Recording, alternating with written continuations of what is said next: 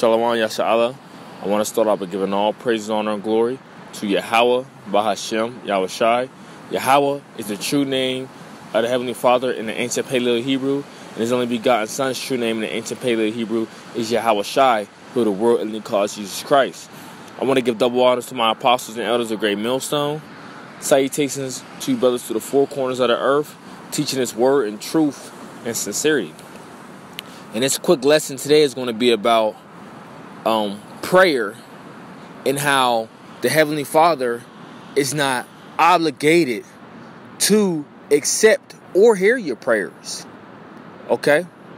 And we're going to go over a few scriptures covering this issue because many people of the world just believe that the Lord has to hear your prayer, that He has to accept it, that He's uh, under bondage uh, basically to you to accept your prayer, like you're in some type of control. When that's not the case, because we serve the Heavenly Father. And when I say we, speaking of Yasharahla, Israel, okay, the Israelites, us as the people, and only the elect is serving Him on this side as of, as of right now. You know, but uh, as a as a whole, speaking of the nation of Israel or the children of Israel, we serve the Heavenly Father. He does not serve us. Okay? See, we are obligated to follow His instructions, the law, statutes, and commandments which He's given us. But He is not obligated to uh, uh, uh accept or hear our prayers. Okay? The Heavenly Father can turn His ear from our prayers uh, uh like He did before. You see?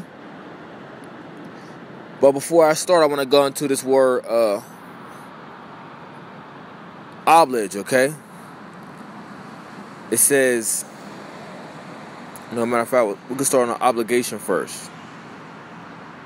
It says obligation for, for the 1300s from Old French obligation, obligation, which means a duty, a responsibility. You see?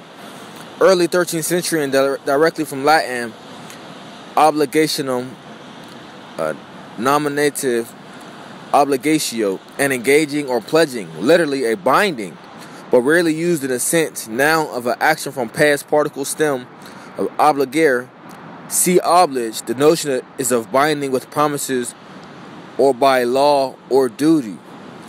It's not the Lord's duty or responsibility to accept our prayers. It's not his duty to do it, okay? That's not something he's commanded to do. He does it because he's a, a graceful and merciful, merciful power. Okay, but that's not his duty. You see? He does not have to take the prayer of the wicked, which the scriptures say, if he does not want to. Because the, the prayers of the wicked are abomination to him. You see? But he hears what? The prayers of the righteous. Now let's go to uh, the oblige, right? From the 13th century means to bind by oath. From Old French obligere, engages one faith, commit oneself, or pledge. From the Latin obligare, to bind, bind up, bandage, figuratively to put under obligation. Uh, to bind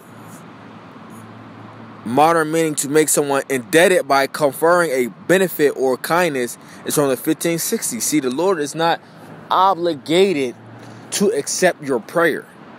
Okay? Especially if you're the wicked. He is not obligated to do anything to us. Like I said before, and I'll say it again. We serve Him. He is our creator. He created us. We did not create Him.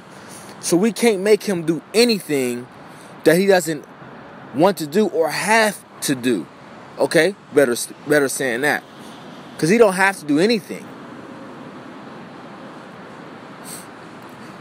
Now, when you look at this, right? Second Chronicles 7:14, he did mention this to us. He says, "If my people which are called by my name shall humble themselves and pray and seek my face and turn from their wicked ways, then then will I turn, Salak, then will I hear from heaven and will forgive their sin and will heal, heal their land. You see? So, like I said, the Lord is so gracious and He's merciful. He told us what? If we was to humble ourselves, right? to, to seek Him and turn from our wicked ways, then He will hear from heaven and forgive our sin and what heal our land. But if we wasn't to take this action, then what? You think He's obligated to do so? No. Okay? No. So let's go into a, a few scriptures I want to get. We're going to go to uh, Proverbs 28 and 9.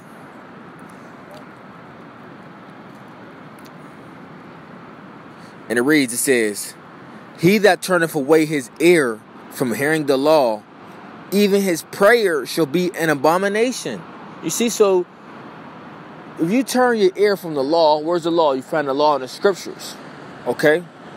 You turn your ear from the law, from what, what the Lord commanded us, what He said, your prayer shall be abomination. Okay? He don't have to re- uh, uh, uh regard your prayer, because now it's what? Abomination to Him. You see? Now let's, for better edification, let's go into the word abomination in that in that verse. See?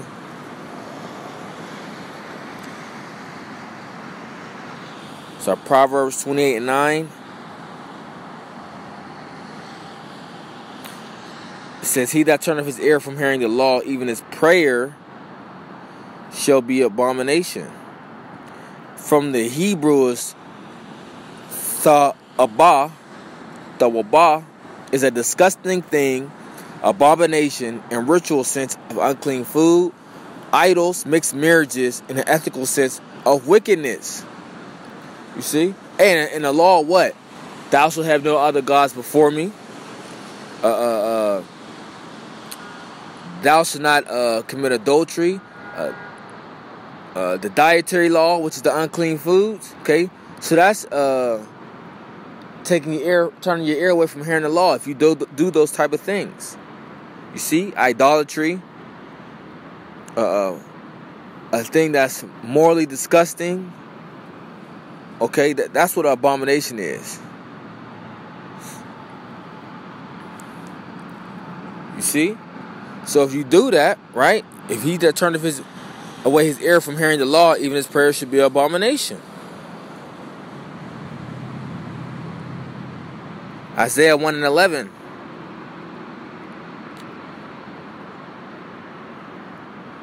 And it reads, it says, To what purpose is of the multitude of your sacrifices unto me, saith the Lord? I am full of burnt offerings of rams and fat of fed beasts. I delight not in the blood of bullocks or of lambs or of the he goats. When ye come to appear before me, who have required this at your hand to tread my courts? Bring no more vain oblations. Oblations, incense is an abomination unto me. The new moons and the Sabbaths, the calling of assemblies, I cannot away with. It is iniquity, even the even the solemn meeting. You see, so things end up becoming uh, uh, uh, not a delight. The Lord, those things weren't a delight to the Lord anymore. Okay, the sacrificial law, because if you know anything, what our people was doing is our people would uh, uh would do wickedly, is they would already have prepared their, the, the, the wicked sacrifice before they committed their wicked act. And and, and how did you uh you do to certain things is what when you committed a different sin, you shed it uh, uh, uh, the blood of a particular animal. Okay, and you went to the priest, and you and then you went to the priest, and that's how you handled that whole situation. But the Lord got fed up and got tired of that, so he he, he was done away with that, and Yahushua ended up becoming uh, the ultimate sacrifice for our people. Okay, the lamb without blemish. Verse 14 it says, Your new moons and your appointed feasts my soul hateth, they are trouble unto me. I am weary to bear them. And when ye spread forth your hands, I will hide my eyes from you. Yea, when you make many prayers, I will not hear. You see? See, the Lord is not obligated to hear or accept your prayers. It says, When ye make many prayers, I will not hear. Your hands are full of blood. Just showing you that the Lord does not have to uh, uh accept your prayers. He is not subjected into into doing that. Okay? Well, like I said before, the Lord so gracious and merciful, you know, he, he, he hears the prayers of the righteous. You know, but unto the wicked, uh, uh, the prayers are abomination. Basically, they just go up and they come right back down. And more importantly, you people are not even praying to the uh, uh, to the right name. Okay, you, you praying to the name of, of, of Jesus Christ and, and, and all these other names of madness. Which the Lord's not hearing that, man. Okay? Let's get James 5 and 16. It says,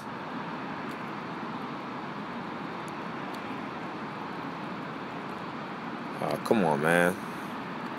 James 5 and 16, it says, Confess your faults one to another and pray one for another that ye may be healed. The effectual fervent prayer of a righteous man availeth much. You see? So, uh, uh the fervent prayer of the righteous man, you know, uh, uh has some type of uh, uh, power to it. Okay? Let's get another one. Let's get Psalm 66, verse 20. Right?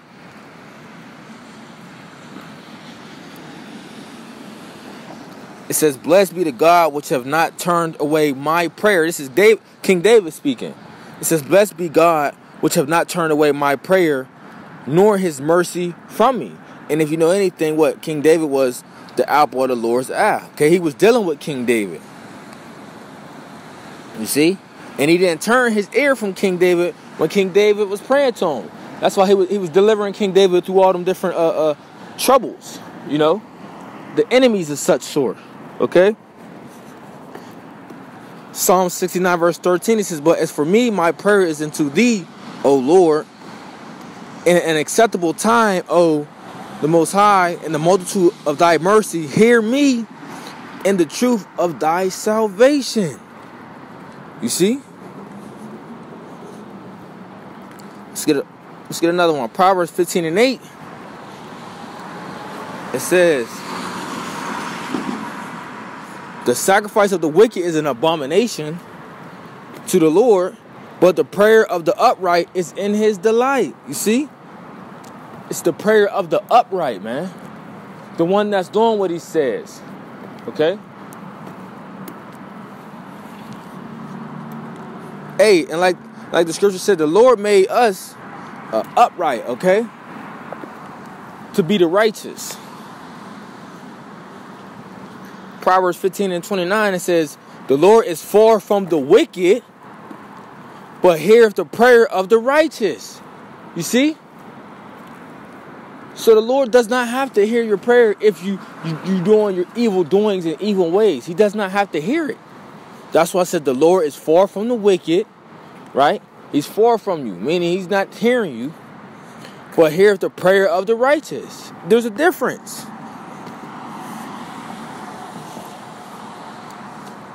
Let's go to Jeremiah 17. I mean, uh, 7. Yeah, let, let's see what he told Jeremiah. Jeremiah 7 and 16, it says, and this just listen how cold the Lord is and what he told Jeremiah. He said, Therefore, pray not for not thou for this people, neither lift up a cry nor prayer for them. So he told Jeremiah when he was dealing with our people, because we know uh, uh, Jeremiah was dealing with our people that was hard headed and didn't want to listen to, oh hell no, what, what, he, what he was saying to them, right? So Lord told Jeremiah, he put that spirit on them and says, Therefore, pray not for this people, neither lift up a cry nor prayer for them, neither make intercession to me, for I will not hear thee. So he told Jeremiah, Don't even pray for these people because I'm not even going to hear thee. Okay? Don't even do it. You see? So even going back into what? He's not obligated to hear your prayer. Okay? First Peter 3 verse 12 it says, For the eyes of the Lord are over the righteous. Right? And he's watching over the righteous, and his ears are open to their prayers. Whose prayers? The righteous' prayers. But the face of the Lord is against them that do evil. You see? So it tells you the Lord is against people that do evil, that doing wrongdoings, that doesn't follow his law, statutes, and commandments, doesn't do what he say. Okay, he's against that. Contrary to what popular belief, what has been taught out here